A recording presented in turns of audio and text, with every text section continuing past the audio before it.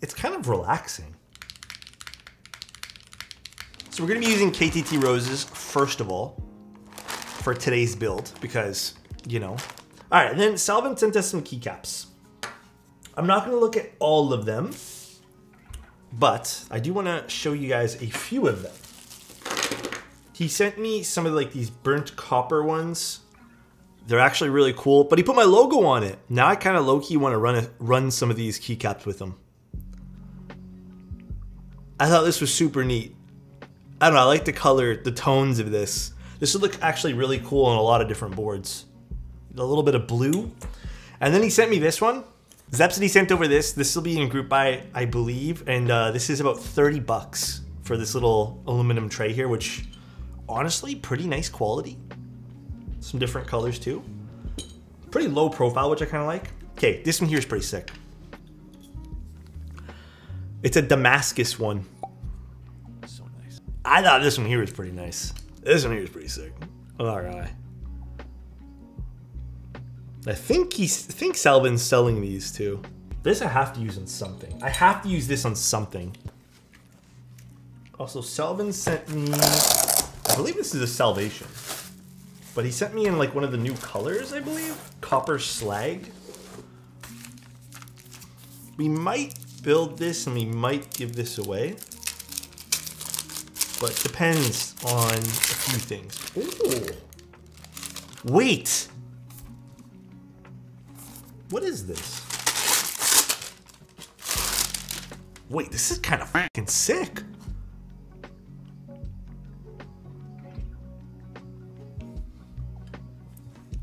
He did show me a photo of this, but I'll be honest, the photo he sent did not do it justice. This is like... This has texture to it. Yeah, you can see it, like, as I'm, I'm kind of, like, going through the light here. I'm not, I don't know what this is. Should we just open it?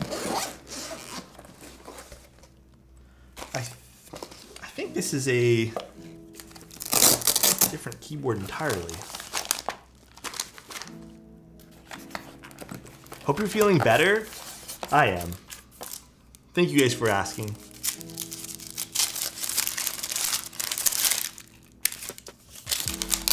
What is crushed? Well, it's the color of the keyboard. Oh, is this um? Wait, what board is this? This is a really nice color. God damn! Now I don't remember what board this is. I think this is one of the in. Yeah, this is a nice color actually. I don't know if this is Cerakote or not. I like the texture of the ano on this. Okay, I need to ask him what board this was again. I'm not gonna lie, I don't remember. Not gonna lie, I already opened up the board a lot because I was taking pictures of it. Okay, this keyboard is actually pretty neat. Is it neat looking? I would say there's a few key things I want to point out about this. Um, I like the inner weight. Does it doesn't go through the back, which is a design choice. Just have this like big, um, beefy kind of typeface here on the bottom. So you can either love it or hate it. I do find that's a common trend throughout the board. So you guys can see on the front. Um, some interesting notes. Besides the unique aesthetic of the, uh, the frame itself, this material, I'm assuming this is acrylic of some sort is almost like a soft, soft touch finish. And it's so unique. The ano on it, or with the e, I guess this is an e coat because it's beige. Flawless. Um, there is like, if you guys are seeing specs in this, I need to peel this thing off. That's why. Daughterboard is not universal, at least I don't think so. Uh, so it is what it is there. But pretty unique little board. I believe you can either do two switches or two knobs. I'm probably gonna go with knobs today because why not? But pretty unique looking keyboard. Like, I'm kind of into it. Another small note is the front height, I believe, is 22 and a half millimeters. So it's a little higher than I would say a lot of people usually enjoy, but there's nothing wrong with that 20 to 23 mark. Yeah, it's, it's a pretty neat design, like interesting design choice everywhere. I think it's neat. I think what really kind of like draws me to this board is also this kind of shell of an acrylic finish here too. I don't know, it, it makes the board almost look 3D in a way. Like, look at that. Isn't that kind of neat? It's, it's kind of cool, right? And then we have our PCB. Now, I am not disappointed with this at all. I was a little worried because I had never really seen any work from this company before. And I was a little worried that this was going to be riddled with meme cuts and flex cuts. And, you know, I'm like, ah, this might be a foamy board, but I'm happy to say that this has no more no more cuts than the unicorn does. I I am okay with just this. This is like to me, if you did want to include flex cuts on a on a keyboard on a PCB, this is probably what the ideal amount of flex cuts usually would look like. That way, there the alpha separate the alpha are all separated from everything else, and it makes a little bit more sense. Now, I don't know why, I'm to be critical with this. I don't know why these little like things are here, kind of connecting the two, but it still kind of does its job. Yeah, at least it's not on every row. I can give it kudos for that. And again, it does have either the two switches we can put over here or the knobs. Also, I don't know what this is supposed to be here on the PCB, but it's kind of neat looking too. I respect it. Weird flex, but what's up, Wilma? interesting PCB from McLovin actually. Um, this has been a common trend that I've been seeing on PCBs, which I've been really liking, by the way. So if you guys don't know, these are spare diodes because sometimes in shipping, it happens, a diode will fall off. Joining in after a long time, missed you, good sir. Dude, thank you so much for the four months. So pretty neat little thing here. I've been seeing, like I said, I've been seeing a few people do this now to their PCBs. I like that. That's kind of neat. Having the spare diodes just here so I don't have to like, you know, request another one or it's it's nice to have. Believe it or not, it's a it's not a super common thing, but it happens more than you think. We got some foam, which I don't think we're gonna be using. I think the feet are in there too. And then we have a plate. Interesting plate. I don't exactly know what this is for, but is that part of the board? Interesting. Interesting plate. Again, not too going not going too crazy with flex cuts or anything like that. It does look, and I'm not sure if this is intentional, but it does look that if you really want it to, which I don't recommend on the hot swap PCB, again, kind of taking a note from, believe it or not, what Wilba I think did with the Salvation. Looks like you can actually just clip out the center alphas here. Oh, that separates things? Ah. So it looks like you can just kind of clip those out, which is kind of fun. Do you, should we do knobs with this or nah? Actually, did they send me knobs with this? Hold on one second, guys. They did. Should we do knobs? That means I need to just quickly take out some of these. Knob it up. Alright, we're knobbing it up. Let me turn on the soldering iron. You have to remove the hot swap sockets. Oh, do I? I do. All right, I'll get rid of them. You know what's weird about this too?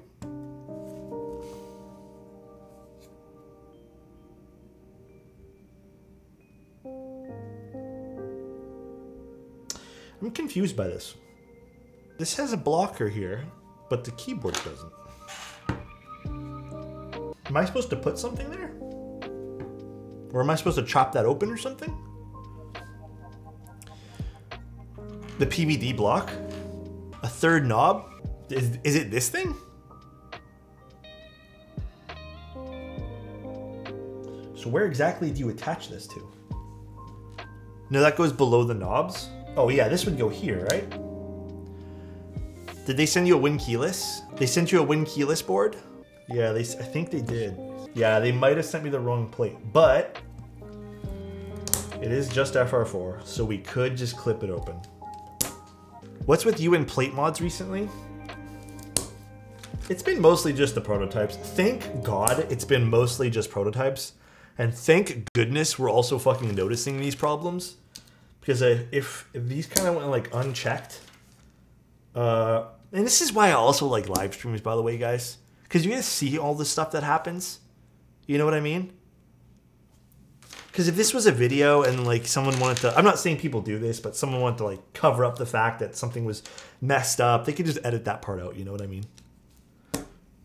that's the easy thing to do. Yeah, the plate shifting uh, they saw on the video, so they're well aware of it now. I think they asked me like what what was shifting, and I just told them the plate. But I'm gonna be having a further discussion with them about the Zoom 75 plate. Surely this segment will be edited out aware. Uh, on the VOD hyperlapse, I don't know. Manoli might leave it in. Maybe Manoli will make some weird joke about it, but I don't think Manoli will.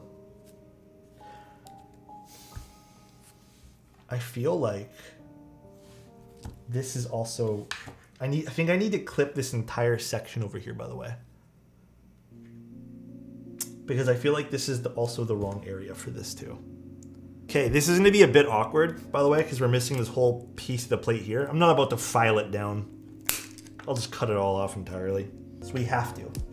And I did that because this one here is also misaligned. It was giving me basically, there's two switches here. Uh, it was telling me I had to, the plate was aligned, so I had to use this one here, which would have made it wrong too. Plateless time. The gasket tab holding on for dear life. Yes, the gas tab. The gas tab should be fine. It's a little crooked now because I had to cut into this, but it's kind of ugly, but whatever. It works. I wish I knew about this before installing everything, but this is what it is.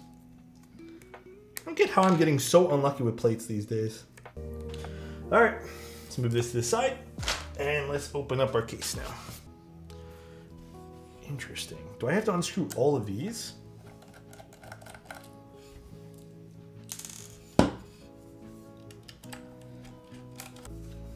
There's a lot of screws on this. I kind of like that though. It's a different vibe. Okay, these long ones go on the back. We gotta remember that. Bro, there's so many screws on this.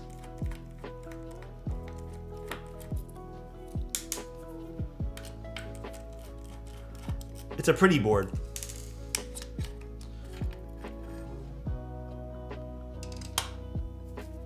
What the fuck? I gotta unscrew this guy too. It's like a puzzle.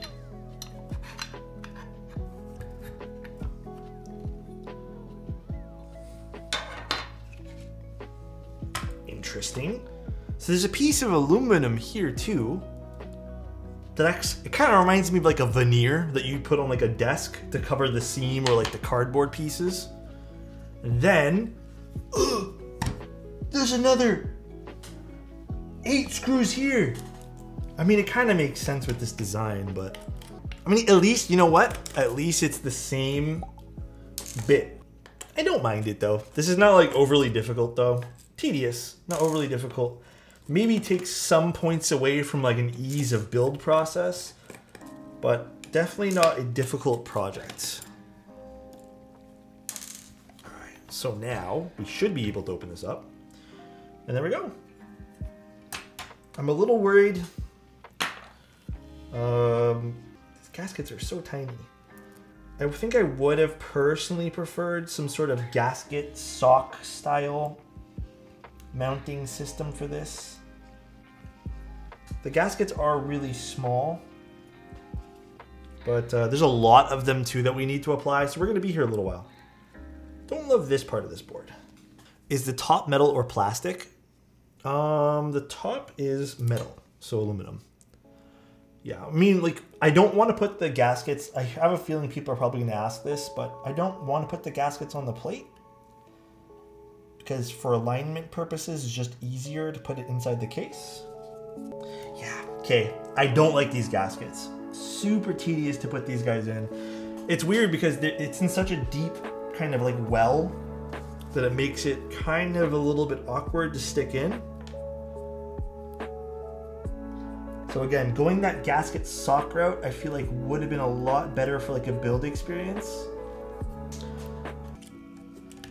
Let's set this guy down.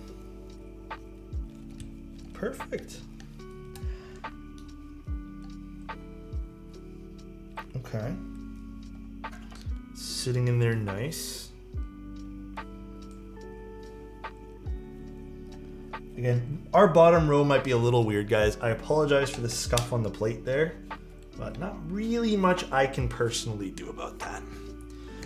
That's uh we have to take it for what it is type thing. Prototype content be like that sometimes.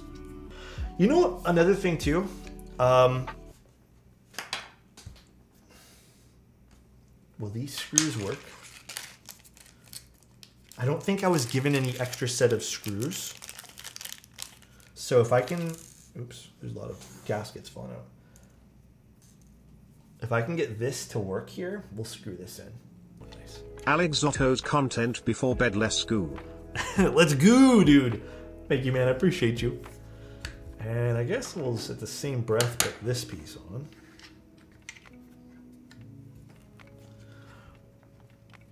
Thank you so much, Jung. I appreciate you. This kind of slides on like that. Interesting.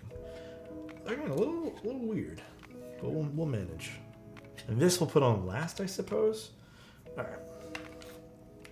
Let me slowly assemble this all, guys. These long ones go on the top.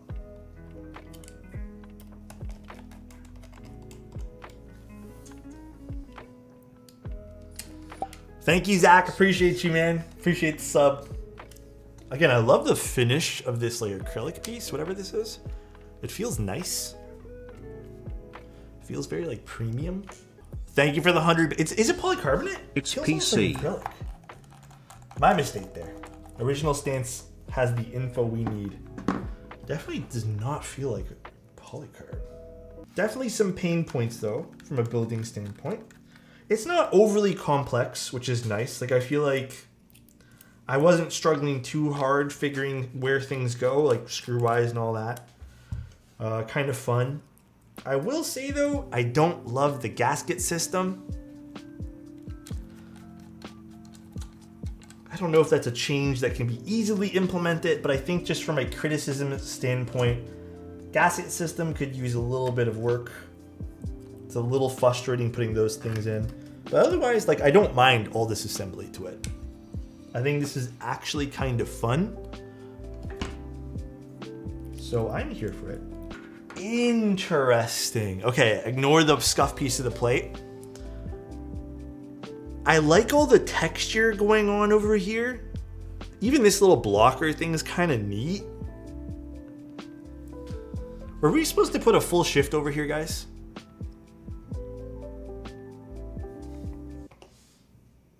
Luckily it's hot swap, so this is not like a terrible thing, but for some reason I thought this was a short shift. Hello? Oh god. No stab, don't use the key. Uh, yeah, honestly, it doesn't really that ma- matter that much. I don't know if this particular side will even work as it is right now. Simply because I think this is still the wrong layout. Whatever. They sent us the uh, the wrong plate. But when we get there, we'll get there. We'll see. Again, not too sure. Is there size shift? Like, what shift do we use for this? I can already say uh, I don't like having that there, but I also don't feel like trimming this anymore. It's fine, just ignore it. They sent us the wrong plate, guys. It's fine. We'll just ignore it. Whatever. Not a bad looking keyboard. I am gonna say though, I think we definitely have to put some sort of. I don't know if there's maybe a riser on this side would be perfect, but uh, I also don't think we really need that support for the from the stab over there. Really don't. You know, it's not that bad. That whole like bottoming out. You don't really notice it when you're actually just typing normally. Only when you put a lot of pressure, but I still don't think that's a, a great thing to have. I do think that should be looked at a little bit. Ignore it. Ignore it. What do you guys think? Does it look nice? God, that's sexy. It's a nice looking keyboard. The right side of the board's pretty. So a few things that I've already noticed about this. It's a very pretty side over here. So again, we'll go over the things that didn't work. We're gonna ignore the plate because I feel like that was just a mistake on their part, and I hope that doesn't happen for shipping. Uh, but we'll still mention it. The plate, wrong plate they sent us. It's fine, whatever. Um, okay, assembly wasn't too bad. I think the gasket system had to be the most annoying thing. So that was probably the only thing that I feel like could have been improved on. Just that. Uh, assembly of the board though was shockingly not that bad. It's just a lot of pieces. So still not that bad though. I'll, I'll give it that. It's it wasn't awful. It wasn't an awful experience. The knob crevices, I don't mind the knobs. The knobs are kind of cool. You don't have to use knobs. You can use switches if you guys so please. Uh, but it's a pretty it's a pretty keyboard. Like it's definitely different. I appreciate it for being different. I am noticing this, and I'm just gonna point this out. Uh, Yeah, a lot of pieces. Uh, again, I don't know what's causing this to. I feel like this may be just all the sheer weight of having the encoders and this like copper or whatever piece this is, but you can kind of hear it bottom out over here, which I don't know if it's going to short the keyboard, by the way. But let's see what this sounds like. We're using KTT Roses. This is the uh, new Retro 66. Little HJ test for you guys. Actually, let's plug it in. I want to see if it shorts. All right. Little HJ test. You open a notepad so don't.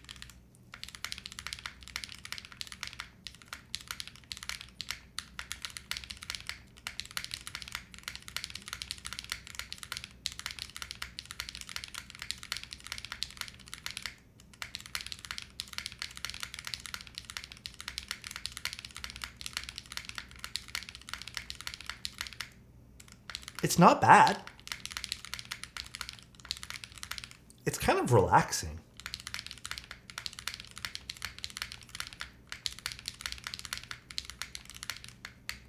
Okay, this spacebar is suffering. You know what it is though, Varja? I can already tell you what the spacebar is doing. The spacebar is suffering from having the mounting point right underneath the spacebar.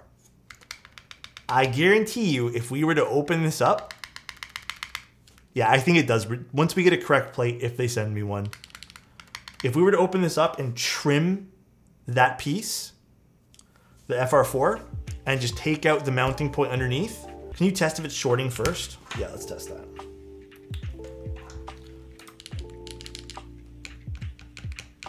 It's not shorting when you do it, so that's nice.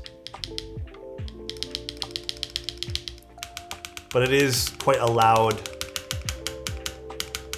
sound there. I'm gonna message the studio to ask them to maybe send me a better plate. I don't know if we can get one before the group buy ends, but I think it'll be fun to still build one with the correct plate on it. Other than that, it sounds pretty good. It has a lot of flex to it. Take care, everyone. Love you guys. Bye bye, and peace out, everyone. Bye. Love you.